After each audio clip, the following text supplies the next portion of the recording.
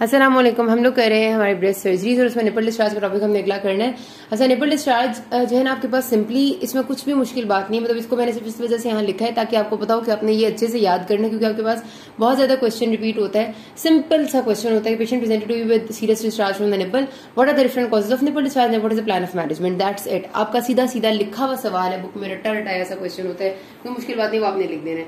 अगर आपका डिस्चार्ज हो रहा होता है, इसमें तीन उन्होंने लिखी हुई निपल डिस्चार्ज की जो कॉजेज है सरफेस से डिस्चार्ज होगा सिंगल डक्ट से या मल्टीपल डक्ट से, ठीक है?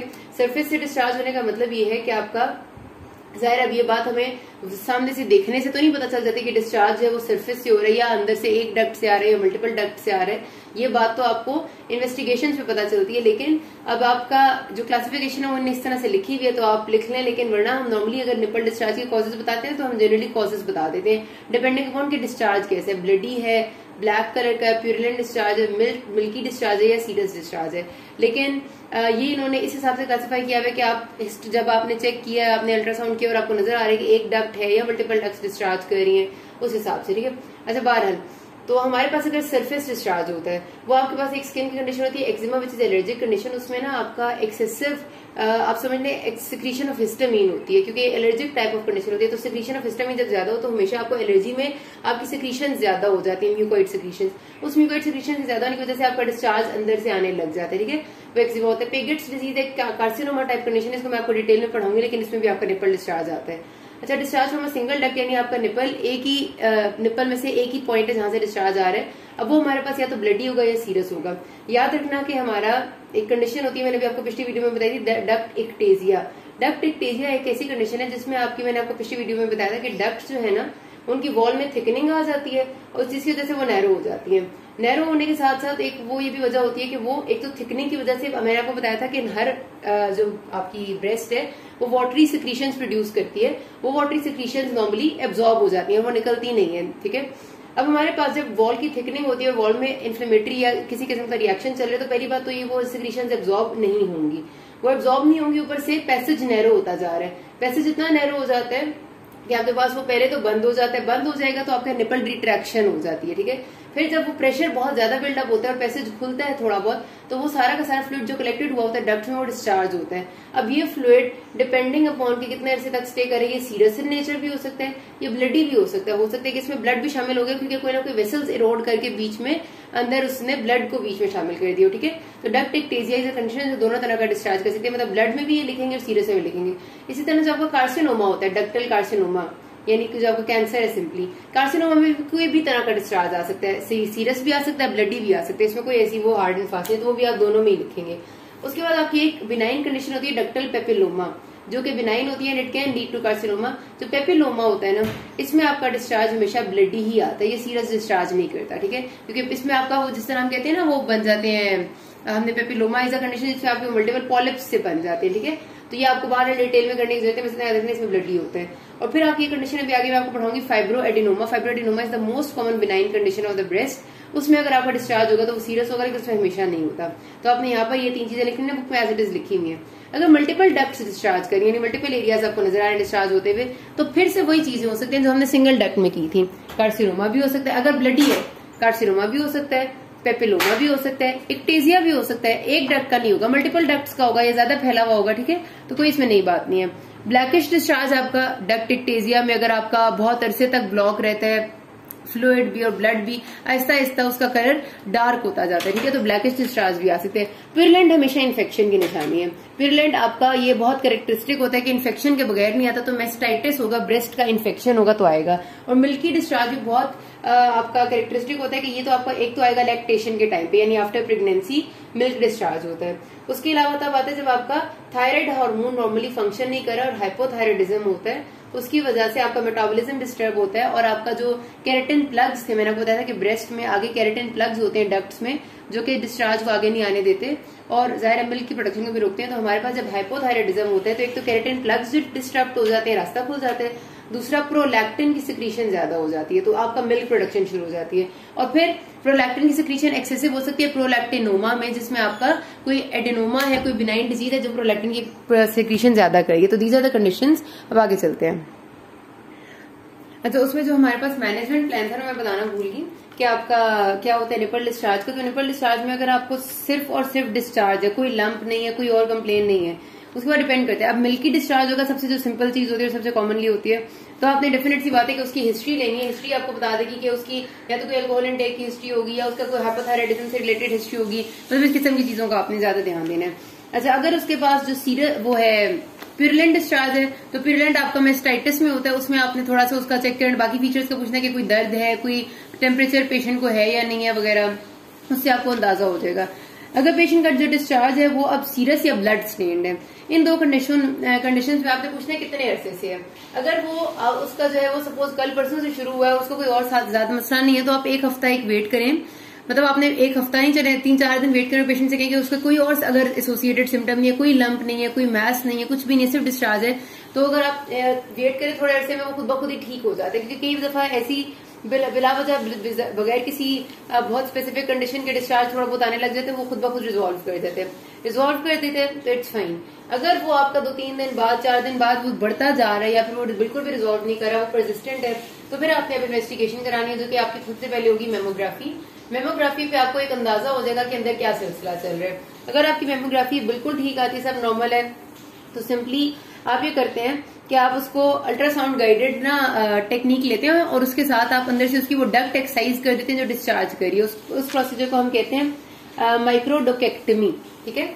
मैं लिखती हूँ यहाँ पे माइक्रोडोकेक्टमी कहते हैं उस प्रोसीजर को कि आप जो है वो अंदर से डक वो वाली एक्साइज कर देते हैं जो कि डिस्चार्ज करिए अगर मेमोग्राम बिल्कुल नॉर्मल है और सिर्फ़ एक डक में प्रॉब्लम है सपोज़ डक टेजिया हो गया। और अगर मेमोग्राम आपका एबनॉर्मल है, कोई लम कोई क्लासिफिकेशन कोई चीज़ मिल तो फिर आपने पूरा ट्रिपल असेसमेंट की तरफ़ चले जाना है। तो ये इसका रेजिमेंट होता है कि आपने जो फॉलो करना है। ठीक है, इस तरह आपने लिख लेना है। अच्छा अगली जो कंडीशन बहुत ज़्यादा आपसे पूछते हैं that is fibroadenoma fibroadenoma मैं कहूँगी, अगर कोई तीन चीज़ें सबसे ज़्यादा ब्रेस्ट के क्वेश्चन में आती है ना तो एक फाइब्रो एडिनोमा आता है, एक ब्रेस्ट एब्सेस आती है, जो भी मैं पढ़ाऊँगी, और एक आपका कार्सिनोमा पूरे ब्रेस्ट में से ये सबसे ज़्यादा आपसे पूछते हैं, सबसे ज़्यादा, ठीक है? और टिपिकल एक ही जैसा सिनेरियो आता है फाइब्रोडिनोमा में क्या होगा? कि आपकी यंग या मिडिल एज फीमेल वो बताएँगे कि 25 फाइव ईयर्स ओल्ड फीमेल या 30 years old female presented to you with a mobile lump in upper outer outer quadrant of the breast mobile lump भी ज़्यादातर वो कहते हैं, ठीक है? तो mobile lump in upper outer outer quadrant of the breast for the last वो कहते हैं two months and has not increase in size it is mobile firm थोड़ी रबरी है और मोबाइल है और कोई साइज़ में इंक्रीज नहीं है पेशेंट कह रही है और उसके साथ उसमें जो है वो थोड़ी सी फर्म इन नेचर है।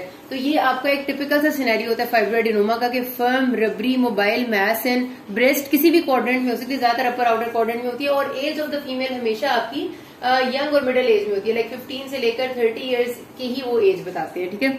तो ये आपका फाइब्रोडिनोमा होगा। मतलब ये ही सिनेरियो आता है और कुछ भी नहीं इसमें से आता है। वो आपसे पूछते हैं कि give the diagnosis what are the required investigation and how will you treat the cause इंतहाई सिंपल है सब कुछ। अच्छा फाइब्रोडिनोमा बनता क्यों है? फाइब्रोडिनोमा सिंपली होती है कि आप समझते हैं आपके ब्रेस्ट टिश्यू जो है ना, वो थोड़ा सा एक्स्ट्रा ब्रेस्ट टिश्यू बन गया। मतलब कि आपका एक ब्रेस्ट थी, अगर ये मेरे पास एक ब्रेस्ट थी, और इसमें जो नॉर्मल लोब्यूज और डक्यूज जितने बनने चाहिए थे हुआ ये कि आपको पता है, सब कुछ हार्मोनल स्टिमुलेशन से चल रहे हैं। तो जो हार्मोन्स आ रहे हैं, उनने एक्स्ट्रा स्टिमुलेट कर दिया, वो या फिर उसका ब्रेस्ट ने एक्स्ट्रा असर ले लिया, और ब्रेस्ट टिश्यू की हाइपरट्रोफी होने लगी और ज़्यादा, बहुत ज़्यादा। हाइपरट्रोफी नहीं इवन हाइपरप्लेजिया मैं कहूँगी कि एक्स्ट्रा लोब्यूज और डक्यूज बनने लगी हैं। जब एक्स्ट्रा लोब्यूज और डक्यूज बनेंगे तो डेफिनेट सी बात है कि होंगी वो बिल्कुल नॉर्मल वो लोब्यूज और डक्यूज में कोई एबनॉर्मेलिटी नहीं होगी। नॉर्मल जैसी होंगी, लेकिन जैसी बात है कि वो ब्रेस्ट में कोई एक और लंप तो बना देंगी ना। ऐसे करके ब्रेस्ट का साइज़ तो किसी एक तरफ़ से बड़ा हो जाएगा जिधर वो बनेंगी। तो वो आपका फाइब्रोडिनोमा होता है। तो it is basically abnormal response of body या ब्रेस्ट के स्ट्रोमा और ब्रेस्ट के लोब्यूल्स का एबनॉर्मल रिस्पॉन्स होता है to the normal hormonal stimulus hormone उतना ही आ रहा है। ब्रेस्ट थोड़ा सा एबनॉर्मली रिस्पॉन्स कर देती है और उसका लोब्यूल सिस्टम भी बढ़ जाता है मतलब जो उसके लोब्यूल्स डिडक्टिव्स है, वो भी नए बनने लग जाते हैं और उसका स्ट्रोमा भी थोड़ा ज़्यादा हो जाता है, ठीक है? और ये टिपिकल है बहुत ज़्यादा। मैंने आपको बताया कि एज ग्रुप इसके बड़ा इंपॉर्टेंट है ओल्ड एज में ये नहीं होता। प्रेजेंटेशन में आपने याद रखना मोबाइल फर्म रबरी ब्रेस्ट होती है, ठीक है? मोबाइल फर्म रबरी सी ब्रेस्ट होगी इसमें। अच्छा आप इसका डायग्नोसिस किस तरह से करते हैं? आपको मतलब ज़ाहिर आपको जब फील होता है पेशेंट की हिस्ट्री आपको अंदाज़ा बता देती है। लेकिन आपने पूरी ट्रिपल असेसमेंट ज़रूर करनी है जब आपसे वो पूछेंगे कि हाउ विल यू डायग्नोस तो आपने लिखना है triple assessment including clinical examination which is history and examination उसके बाद आपने लिखना है कि हमने करवाई रेडियोलॉजिकल एग्जामिनेशन जिसमें आपकी मेमोग्राफी और अल्ट्रासाउंड थी, और फिर आप करवाते हैं हिस्टोलॉजिकल एग्जामिनेशन यानी एफ़ ट्रू कट बायोप्सी या कोई भी बायोप्सी ये लिखना ज़रूरी है। हम क्लिनिकली सब कुछ कराते नहीं है, लेकिन हम इतना ज़रूर करते हैं कि हम कार्सिनोमा को रूल आउट करें। क्योंकि अगर एक लंब है, बेशक वो मोबाइल है, बेशक वो रबरी है it can be leading to some carcinoma तो आपने लाजमी इन्वेस्टिगेशन से कैंसर को रूल आउट करना होता है। वो इन्वेस्टिगेशन में आप मेमोग्राफी अल्ट्रासाउंड वगैरह कराते हैं, आपको काफ़ी हद तक अंदाज़ा हो जाता है। अगर आप एफ़ या बायोप्सी करा लेंगे तो कन्फर्म हो जाएगा। तो इसलिए आपने लिखना है कि आपने ट्रिपल असेसमेंट करानी है। जब आपका ट्रिपल असेसमेंट कन्फर्म हो जाता है कि इसमें कोई मसला नहीं है। तो ट्रीटमेंट क्या है? सबसे पहली जो आसान तरीके ट्रीटमेंट वो ये है कि पेशेंट को रीअश्योर करा दें कि इसमें सर्जरी की ज़रूरत नहीं है, ये कोई कैंसर नहीं है, ये वैसे ही एक लंप सी बन गई जो कुछ नहीं कहेगी, ना साइज़ में इंक्रीज होगी, क्योंकि इसमें कोई कैंसर का रिस्क नहीं है फाइब्रोडिनोमा में, ठीक है? तो पहली चीज़ होती है रीअश्योरेंस ऑफ़ द पेशेंट कि surgery is not required surgery हमने सिर्फ़ तब करनी और वो भी उसमें भी सिर्फ़ लंप रिमूव करना पूरा ब्रेस्ट नहीं रिमूव करना। सिर्फ़ उस लंप को रिमूव करने को आप कहते हैं ई न्यूक्लिएशन तो ये न्यूक्लिएशन सिर्फ़ तब करनी होती है जब हमारे पास हिस्ट्रोलॉजी में थोड़ा सा भी आपको शक हुआ है। जब आपने उसकी बायोप्सी की है तो आपको थोड़ा सा शक हुआ है कि हो सकता है कि ये कोई ना कोई कैंसर की तरफ़ जा रहा है या थोड़ा सा डिस्प्लेजिया मिल गया, कोई ऐसी बात है। तो आपने तब उसकी न्यूक्लिएशन कर देनी है। या उसका साइज़ बहुत बड़ा था फाइव सेंटीमीटर से ज़्यादा बड़ी थी, क्योंकि नॉर्मली ये छोटे साइज़ की होती है ज़्यादा बड़ी नहीं होती, ठीक है? या फिर तीसरी ये वजह होती है कि पेशेंट को बहुत ज़्यादा मसला है, वो चाह रहा है कि उसको नहीं अच्छा लग रहा वो रिमूव करवाना चाहता है तो आप रिमूव करते हैं। तो तीन कॉजेज है साइज़ बड़ा होना सस्पिशियस होना या पेशेंट की मर्ज़ी होना। ये आपने एज इट इज़ सारी बातें लिख देनी होती है। ठीक हो गया? क्वेश्चन का आंसर पूरा होता है हमारा। अच्छा फिर हमारे पास जो अगला ट्यूमर होता है फाइलोड ट्यूमर फाइलोड ट्यूमर को मैं हमेशा याद रखती हूँ लीफ से। इसकी ना जो आती है वो, इसकी हिस्टोलॉजिकल पिक्चर ना पत्ते की तरह की आती है, इसलिए इसको मैं लीफ से याद रखती हूँ। हमारे पास, आपको याद होगा पैथोलॉजी में इसका हमेशा एमसीक्यू आता होता था कि लीफ लाइक पैटर्न है जिस ट्यूमर का, वो कौन से? फाइलोड्स होता है आपका। तो फाइलोड्स ट्यूमर भी आपका बेसिकली फाइब्रो एडिनोमा से भी बन सकता है। और ज़रूरी नहीं है कि पहले फाइब्रो एडिनोमा हो, ये वैसे भी ब्रेस्ट में बन सकता है तो ये भी ब्रेस्ट के स्ट्रोमा की ओवर ग्रोथ है। ये it is not a malignant tumour it is simply a benign growth है। जो कि आपका ब्रेस्ट का स्ट्रोमा जो है वो ओवर ग्रो करने लग जाता है। लेकिन इसमें मेलेग्नेंसी का चांस होता है। मतलब फाइब्रोडिनोमा तो सिंपली एक ग्रोथ थी जिसमें कोई मेलेग्नेंसी का चांस नहीं था। ये होती बिनाइन है लोकली इन्वेसिव होती है। जब आपसे पूछेगा ना इसका करेक्टर क्या है तो बिनाइन और लोकली इन्वेसिव का मतलब है कि कोई ऐसी चीज़ सपोज़ ये मेरे पास ब्रेस्ट है जो कि यहाँ पर बनी है, और वो लोकली साइज़ में ग्रो करी और लोकल एरियाज़ में इन्वेट करी, लेकिन कोई लिम्फ नोड या कोई डिस्टेंट मेटास्टेसिस शो नहीं करी तो it is benign but locally invasive type of ये चीज़ होती है। तो ज़्यादातर आपकी फोर्टी ईयर्स और उसके अराउंड यानी थर्टी से फोर्टी फाइव ईयर्स की एज में होगी। मतलब बहुत यंग में नहीं होगी ये। तो फाइलोड ट्यूमर बनता क्यों ये भी आपका बेसिकली हार्मोनल स्टिमुलस से ही रिलेटेड है। इसका पुराना नाम भी आपने याद रखना इसका पुराना नाम होता था सीरोसिस्टिक डिज़ीज़ ऑफ़ ब्रॉडी या सिस्टा सार्कोमा फाइलोइड्स ठीक है? सीरोसिस्टिक डिज़ीज़ ऑफ़ ब्रॉडी किसी ब्रॉडी नामी शख्स ने उसे दिया था जिसे लगा था कि इसके अंदर सीरस और सिस्टिक किस्म की मैस होती है, लेकिन ना ये सीरस होती है, ना ये सिस्टिक होती है। ये बिल्कुल फर्म मैस होती है जिसके अंदर डक्ट्यूज और लॉब्यूज और सारा स्ट्रोमा ग्रो कर रहा होता है। बेसिकली स्ट्रोमा डक्ट्यूज रब्यूज भी इतनी नहीं होती। ब्रेस्ट का जो बाकी करेक्टिव टिश्यू है, वो इसके अंदर बहुत ज़्यादा होते हैं। ठीक हो गया? अच्छा उसके बाद हमारे पास इसमें दूसरा जिसका नाम था, वो था सिस्टोसार्कोमा फाइलोड्स। अब सार्कोमा भी उन्होंने नाम इसको दे दिया, लेकिन इसमें कोई बहुत ज़्यादा मेलिग्नेंसी का रिस्क नहीं होता, बहुत थोड़ा सा होता है। तो इस वजह से इसको अब जो नाम दिया गया, वो सिंपली फाइलोड्स ट्यूमर है। तो पुराने नाम लेकिन आपने लिखने होते हैं। ठीक है तो फीचर्स याद कर लेना कि एज ग्रुप ये है। पुराने नाम इसके क्या थे? लीफ लाइक इसकी हिस्टोलॉजिकल ग्रोथ होती है लोकली इन्वेसिव है, और जो कुछ मैंने आपको बाकी बता दिया। अच्छा अब हमारे पास अगर पेशेंट प्रेजेंट करते तो इसका फीचर आता है मतलब इसके पास इसका हमारे पास सिनारियो इस तरह से नहीं आता कि patient presented to you with complain of क्योंकि इसकी कोई बहुत स्पेसिफिक कंप्लेन नहीं है। ये आपसे डायरेक्टली पूछ लेते कि what is phyllodes tumour and उसका बताएँ कि क्या सिलसिला है और मतलब डिटेल डायग्नोसिस इन्वेस्टिगेशन वगैरह इस तरह से पूछ लेते हैं। या फिर वो कहते हैं कि patient presented to you with mass in the breast which is ulcerating the overlying skin और जो आपकी हिस्टोलॉजिकल एग्जामिनेशन है, उसने प्रूव किया कि कार्सिनोमा नहीं है। तो अगर कोई ऐसी मैस है जो ऊपर वाली स्किन को अल्सरेट कर रही है, और वो उसके ऊपर, उसके अंदर घुस रही है, और लार्ज भी है, और वो कार्सिनोमा भी नहीं है तो फाइलोड्स ट्यूमर ही की तरफ़ आपका जाना चाहिए जहन, ठीक है? तो ये आपके पास सिनेरियो का एक तरीका है, अगर वो आपको मुश्किल देना चाहेंगे तो यही देंगे। अच्छा फिर हमारे पास इसका डायग्नोसिस वही बात है ट्रिपल असेसमेंट से हमने करना है। और उसके बाद हमारे पास जिसकी ट्रीटमेंट आती है, वो यही होती है कि वाइड लोकल एक्सीजन इसमें ज़रूरी है सर्जरी कर देने, क्योंकि इसमें मेटास्टेसिस का या फिर प्रेगनेंसी का खतरा है तो हमने इसमें वाइड लोकल एक्सीजन करनी होती है। और अगर हमारे पास ये बहुत ज़्यादा बड़ा होगा तो हमें पूरी मेस्टेक्टमी भी करनी पड़ेगी। वाइट लोकल एक्सीजन का मतलब है कि हम आसपास के एरिया के समेत इसको निकाल देंगे, लेकिन अगर जरा ज़्यादा बड़े तो हमें मेस्टेक्टमी करनी पड़ती है। ठीक हो गया? अच्छा ब्रेस्ट एप्स अगला टॉपिक अगले पार्ट में कहते हैं। किसी को कोई मसला हो अभी तक you can ask thank you